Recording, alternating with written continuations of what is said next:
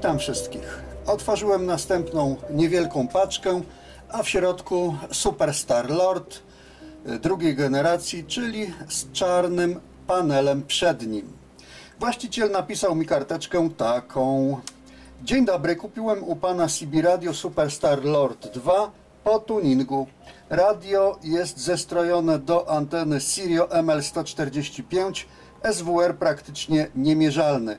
Problem jest taki, gdyż jak ktoś nadaje, bardzo słabo słyszę. Jeśli zapytam kogoś o drogę, to z bardzo bliska odezwy kierowców są takie, że bardzo słabo mnie słyszą. Proszę o sprawdzenie radia i jego naprawę. Tak napisał mi właściciel karteczkę, więc radio podłączone. Wypróbujemy i sprawdzimy. 19 kanał, modulacja AM, włączona automatyczna blokada szumów. No widać, że radio odbiera jakiś sygnał, ale wyłączę na chwilkę blokadę.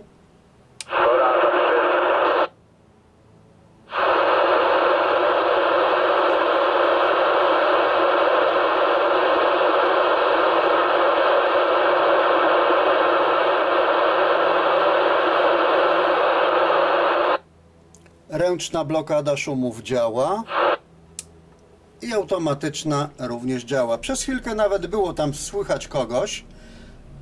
No, filmy robię zazwyczaj rano, więc jest jeszcze wcześnie, mało osób się odzywa w eterze, mało kierowców. Nawet pomimo, że antena stacjonarna na budynku. No ale właściciel napisał, że nie ma odbioru. No przynajmniej jak na razie dla mnie odbiór jest. I to widać nawet po wskaźniku wychyłowym na radiotelefonie. No ale można wypróbować to, no ciężko będzie teraz czekać i słuchać, jak ktoś się odezwie. No mógłbym ja się odezwać, ale sprawdzimy w ten sam sposób jak poprzednio z innym radiotelefonem i na przykład z generatorem. Jeśli posiadamy dwa radiotelefony i taki oto trójnik antenowy, możemy podłączyć jedną antenę do dwóch radiotelefonów i jak widać i jeden i drugi radiotelefon pokazuje na wskaźnikach, że radia odbierają sygnał.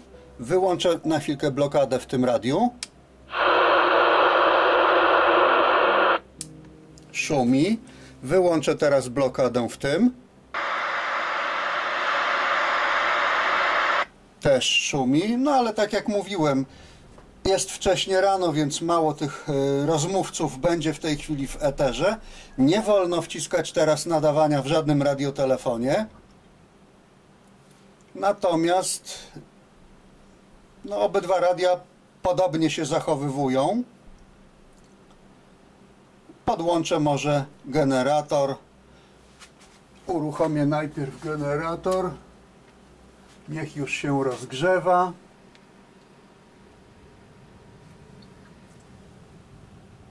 Dwadzieścia siedem przecinek dwieście modulacja 80%, sygnał 0,5 mikrowolta i już generator uruchomiony. Teraz zmienię kanał i tu, i tu.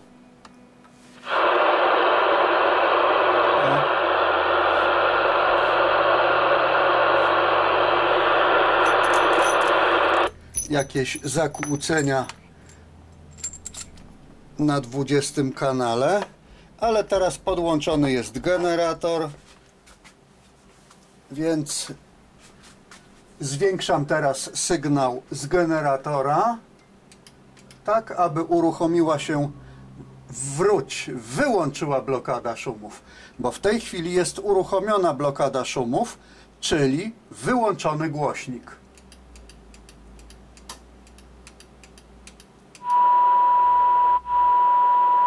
Oho, i proszę zobaczyć. A raczej posłuchać. W tym radiotelefonie już blokada, blokada szumów się wyłączyła, a mamy 1,9 mikrowolta. Posłuchajmy, przy jakim sygnale. O, i w tej chwili wyłączyła się blokada szumów w prezydencie Johnem. Przyciszę tu i proszę posłuchać. W tej chwili mamy sygnał z prezydenta Johnego. I to jest 2,5 mikrowolta, czyli w tym radiotelefonie blokada szumów jest ustawiona na niższym poziomie. Na chwilkę przyciszę to, żeby nam nie zakłócało. Czyli w tym radiotelefonie blokada szumów jest ustawiona na niższym poziomie. No, z jednej strony lepiej, z drugiej gorzej, ponieważ przy słabszych sygnałach to w tym radiu będziemy lepiej słyszeli dalsze stacje. Natomiast w tym radiotelefonie e, po prostu nie usłyszymy już tych, starsz, tych, e, tych słabszych stacji, które będą no, dosyć mocno już od nas oddalone. Ale za to, jeśli będą pojawiały się jakieś szumy, zakłócenia eterowe, to ten radiotelefon będzie spokojniejszy, natomiast w tym radiotelefonie możemy je usłyszeć, tak jak zresztą było to słychać przed chwileczką, gdy włączyłem 20 kanał i w jednym i w drugim radiu przy podłączonej antenie. W tym radiotelefonie było słychać ten sygnał zakłócający jakiś. Także z jednej strony źle, z drugiej dobrze, tym bardziej no, też nie ma problemu. W tym radiotelefonie e, w środku jest regulacja automatycznej blokady szumów. Natomiast w tym radiotelefonie niestety producent już tego nie przewidział. To teraz może jeszcze co zrobimy? No mam w tej chwili 2,5 mikrowolta sygnał z generatora. Jeszcze raz zrobię głośniej.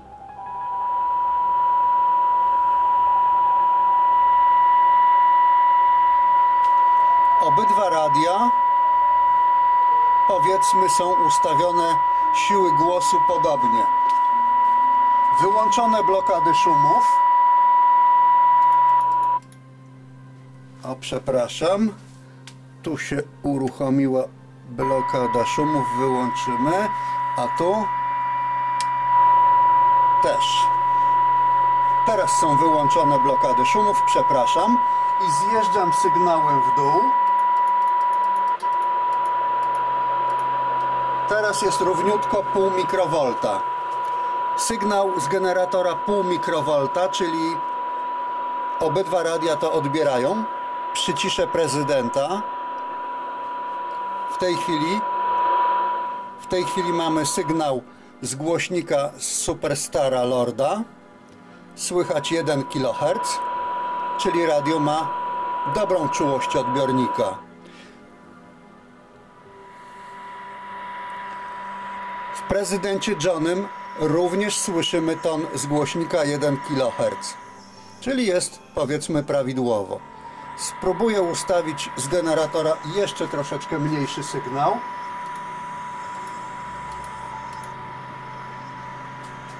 Zero przecinek mikrowolta. No tu jeszcze słabiutko, ale słychać. Przyciszę.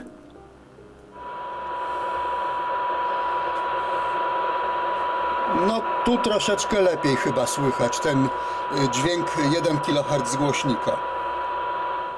No ale to też nie ma większego znaczenia, także czułość odbiornika na podobnym poziomie nie ma się do czego przyczepić. Odbiornik jest sprawny. Jeśli odbiornik jest sprawny, to można wypróbować nadajnik. Radio było po tuningu, czyli powinno mieć troszeczkę większą moc niż normalnie. I proszę zobaczyć, moc 5,2 W, radio ustawiona, ustawione prawie idealnie w częstotliwości 124 Hz powyżej kanału, no radio wiadomo jeszcze się nie rozgrzało odpowiednio, ta częstotliwość jeszcze zjedzie sobie w dół. To teraz poproszę o ole o sygnał. Ola. I proszę zobaczyć. Nośna 5,2 W, a z modulacją dochodziło do 5,5 W. Czyli, czyli coś się dzieje. Albo z mikrofonem, albo z torem wzmacniacza mikrofonowego. Ale można to też łatwo sprawdzić, ponieważ mogę odłączyć mikrofon oryginalny i podłączyć na chwilkę generator i wypróbować z generatorem. I teraz generator mamy podłączony, nośna 5,1 W, 5,2 wskakuje czasami. Ta częstotliwość, jak widać, zjeżdża sobie powolutku w dół. Uruchomię teraz generator. I z modulacją ponad 11 W. Czyli nie jest to wina radia, ale mikrofonu. Podejrzewam, że uległa uszkodzeniu wkładka mikrofonowa. Tu akurat w tym jest wkładka dynamiczna, więc należy wymienić wkładkę na nową i myślę, że to będzie cała naprawa. Także nie był to odbiornik, tylko niestety nadajnik, a dokładnie wkładka mikrofonowa, która uległa uszkodzeniu.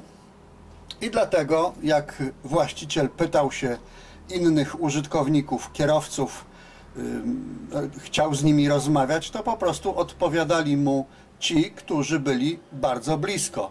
No, na większą odległość nie było, nie było go już słychać. Także Rozmawiałem również z właścicielem, także wkładkę to mu wymienię gratisowo, tym bardziej radio niedawno chyba kupione, może z rok temu, ale to żaden problem, nie mam tu żadnej karteczki, kiedy to było kupione, nie ma gwarancji, ale jest to taki drobiazg, że nie ma problemu. Następna paczka z małym radiem, Alan 199 Radiotelefon był już u mnie kiedyś w serwisie, jest moja naklejka gwarancyjna. Natomiast proszę zobaczyć, tu mamy dodatkowo jeszcze kilometrowy przewód zasilający. Jest tego bardzo dużo. A właściciel napisał mi karteczkę. Witam, proszę, aby pan zreperował odbiór, bo trzeszczy i podniósł moc nadawania. Pozdrawiam. Bo trzeszczy. No, trzeba zdawać sobie sprawę, że radio nie jest najwyższych lotów. Jest to jeden z tańszych modeli. No niestety nie posiada filtrów przeciwzakłóceniowych, więc czasami może to radio mocniej szumieć i trzeszczeć niż inne. No ale jak to się mówi, jakie pieniądze, taki towar. No ale można wypróbować, nie ma problemu, sprawdzimy. Po pierwsze, to co mówię każdemu, przy odłączonej antenie można włączyć radio, niech będzie tradycyjnie 20 kanał, blokada szumów wyłączona i robimy maksymalnie siłę głosu do oporu.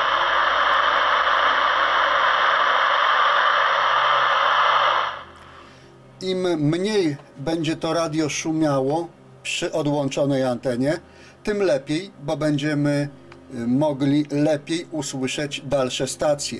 Jeśli radiotelefon sam z siebie potwornie szumi, to wiadomo, że tych bardzo dalekich stacji możemy już nie usłyszeć.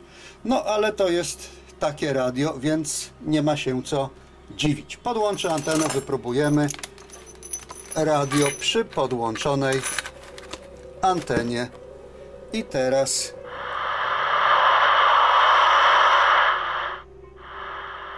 jeszcze dziewiętnasty kanał.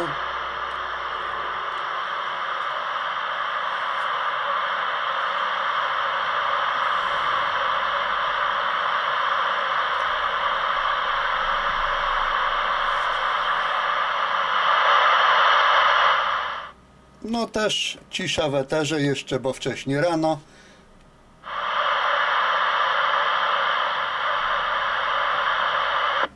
Blokada szumów działa.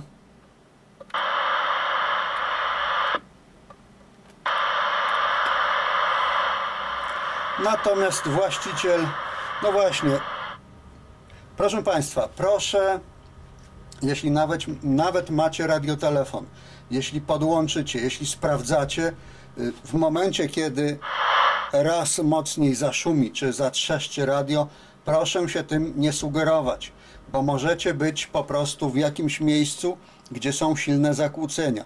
Możecie mieć zakłócenia z własnego pojazdu, od wszelkiego rodzaju urządzeń typu załóżmy podnosimy szybę do góry, gdzie silniczek iskrzy, możemy wtedy usłyszeć w radiu zakłócenia. Tym bardziej w takim niskobudżetowym radiotelefonie, który nie ma filtrów przeciwzakłóceniowych. Mogą to być zakłócenia od wycieraczek szyb, od ładowarek, od telefonów komórkowych, od różnego rodzaju zasilaczy od laptopów, od przetwornic napięcia, które są w samochodzie, również od zapłonu. No niestety, jeśli decydujemy się na kupno radia, które nie ma filtrów przeciwzakłóceniowych, no to trzeba mieć świadomość, że ten radiotelefon po prostu będzie mocniej szumiał i trzeszczał. Natomiast jeśli tam powiedzmy przez chwilę komuś radio zaszumi i zatrzeszczy mocniej, może być tak, że przejeżdżamy po prostu koło jakiegoś y, źródła silnych zakłóceń i ten radiotelefon akurat w tym miejscu będzie mocniej szumiał. Wystarczy wtedy albo mocniej przykręcić blokadą szumów, albo po prostu przyciszyć radio na chwilkę.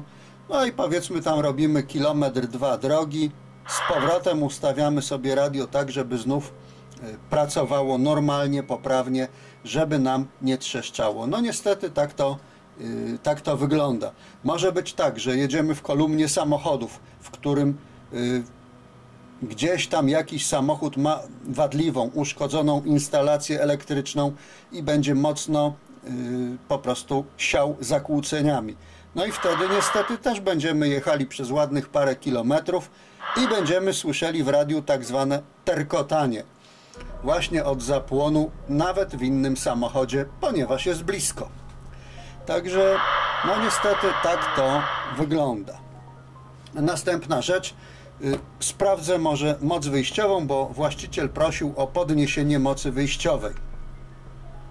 Mierzydła podłączone i przypominam, moc wyjściową i parametry radiotelefonów sprawdzamy y, przy napięciu zasilającym 13,8 V, najlepiej przy użyciu sztucznego obciążenia i jakiegoś bardziej wiarygodnego przyrządu pomiarowego. Miernik częstotliwości nie jest to jakiś super, hiper wynalazek, ale do sprawdzenia powiedzmy jakiegoś takiego nawet prostszego radiotelefonu w zupełności wystarcza, ponieważ jego dokładność jest no akurat odpowiednia do sprawdzenia tego typu sprzętu. Nie potrzeba tu jakichś nie wiadomo jak skomplikowanych i jak dokładnych przyrządów pomiarowych. Ten w zupełności wystarcza. Uruchomię nadawanie. I proszę zobaczyć. Moc 2,9 W, powiedzmy 3 około. Częstotliwość ładnie ustawiona, 63 Hz powyżej kanału, czyli prawidłowo. Też to sobie jeszcze troszeczkę zjedzie, ale poproszę Ole o sygnał. Ola 4,3 W, czyli bym powiedział cieniusieńko. Szału nie ma, więc nic dziwnego, że właściciel poprosił o podniesienie mocy. Przy czym, jeśli podnosimy moc wyjściową w radiotelefonie, to niestety, ale modulacja, czyli to, co mówimy do mikrofonu, będzie, będzie ciche. Jeśli podnosimy moc wyjściową w radiotelefonie, należy również podnieść modulację, czyli podnieść wzmocnienie mikrofonu, po to, żeby nasz głos był również głośny. Także czas start, zabieram się za działanie. Zgodnie z życzeniem klienta moc i modulacja podciągnięta, ponieważ również rozmawiałem właśnie telefonicznie już z klientem i powiedział, aby i jedno, i drugie podciągnąć. Odbiornik jest sprawny, więc nie ma się co do odbiornika przyczepiać. Sprawdzimy sobie teraz moc. I w tej chwili proszę zobaczyć moc 6,2 W. Częstotliwość, jak mówiłem, już zjechała sobie troszeczkę w dół. Ola 8,5 W z modulacją. Pewnie gdybym podłączył generator zamiast mikrofonu, byłoby troszeczkę więcej, no ale to i tak już nawet przy użyciu Oli widać, że jest zdecydowanie lepiej. Jeszcze raz spróbujemy. Ola 8,5 W z modulacją, czyli teraz jest, jak to się mówi, git. Następna paczka, a w paczce prezydent Lincoln 2 Plus. Na paczce był ładny, piękny, duży napis reklamacja, ponieważ ja ten radiotelefon przed moim urlopem robiłem, jest tu moja naklejka gwarancyjna, to znaczy robiłem. Radiotelefon, właściciel niechcący albo chcący zresetował i w radiotelefonie nie było pasma CB. Natomiast ja jedynie odblokowałem y, ponownie radiotelefon, y, tak aby było pasmo CB i też proszę zobaczyć, ten radiotelefon, tak jak wyjąłem z paczki, nic nie ruszałem.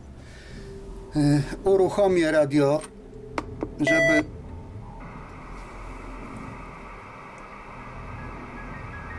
żeby nam coś poszumiało. No i odbiór jest, proszę posłuchać. Tu mamy ustawiony 27180, czyli kanał 19. Wprawdzie tu pokazuje 18, ale też można zrobić taki szybciutki test odbiornika. Odłączę antenę. Maksymalnie siła głosu do oporu. Jeszcze sprawdzę, czy są czy są włączone jakieś filtry? Chyba są. Gdzież my tu mamy filtry?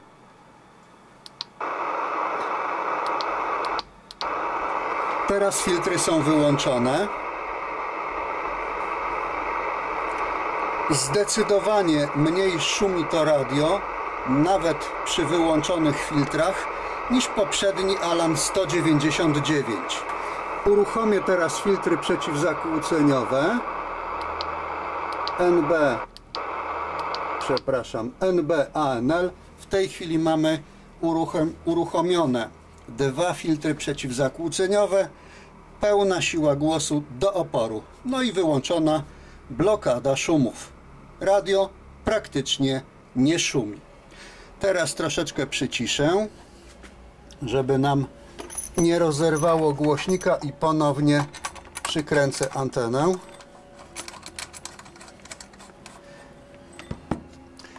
Właściciel tego sprzętu napisał, że brak nadawania. No to ustawię może No właśnie, tu też napisał, że co chwilkę pokazuje się napis DC High. No ale może teraz tak ustawimy sobie, żeby było szybciej. 20 kanał. I teraz wcisnę nadawanie i proszę zobaczyć. Moc z radia wychodzi. Nawet jest regulacja. Nie ma problemu. Jeszcze sprawdzę modulację. Ola! Modulacji nie ma albo cichuteńka. A no właśnie, bo po pierwsze skręcona czułość odbiornika skręcona, skręcone wzmocnienie mikrofonu, a później klient woła, woła, woła i nikt, nikt go nie słyszy, nikt mu nie odpowiada, ponieważ radio poskręcane na minimum. Moc do oporu, a wzmocnienie mikrofonu przykręcone. No i tak to wygląda później że nie znacie obsługi, kochani, radiotelefonu i przysyłacie z reklamacją, a nie potraficie sprawdzić i popatrzeć na ustawienia radia. To samo jeszcze teraz, y, no może od razu sprawdzimy sobie moc wyjściową tego radia, jak już jesteśmy przy mocy. Nie ma problemu, szybciutko to zrobimy, podłączymy. Żaden problem. Teraz jeszcze to. I jeszcze troszeczkę kamera do tyłu. To uruchomię, to uruchomię. Pełna moc wyjściowa w tej chwili. Tak jest. Mikrofon też.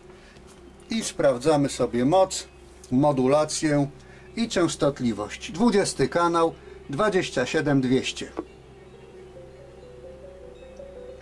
I proszę zobaczyć, częstotliwość ustawiona idealnie, moc wyjściowa radia nośna 13 W,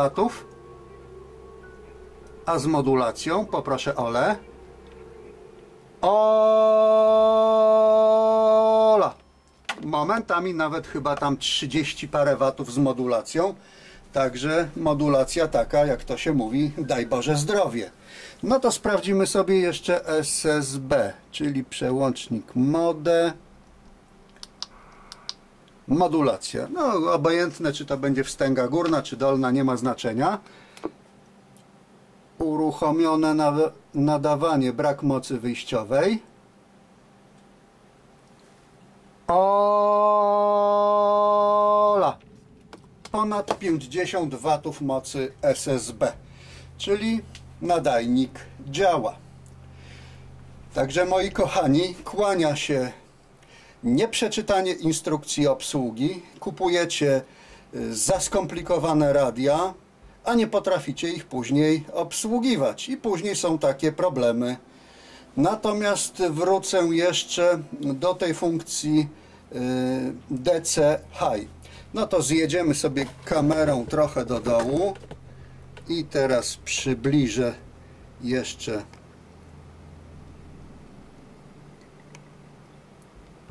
no za mocno. Jest ostrość. Ostrość złapało i teraz do mojego klienta. Szanowny panie kliencie gdyby pan przeczytał instrukcję obsługi od tego radia to zrobiłby pan to albo wyłączył tą funkcję w ciągu 10-15 sekund, bo, bo to można zrobić. Jest to również opisane w instrukcji obsługi. Bez najmniejszego problemu jest dostępna i to w języku polskim w internecie. Wystarczy wpisać w Google instrukcja obsługi prezydent Lincoln 2 voila i po problemie. Mnie to zajęło właśnie 10-15 sekund, natomiast teraz y, też rozmawiałem z klientem. No, nasz klient, nasz pan, klient zażyczył sobie, że odpowiednio słono za to zapłaci, więc wyłączę tą funkcję, nie ma problemu. Po przeczytaniu instrukcji obsługi, a dokładnie tej funkcji DC High, wyłączyłem, ustawiłem tak jak fabrycznie to było zrobione i proszę bardzo, już się nie wyświetla.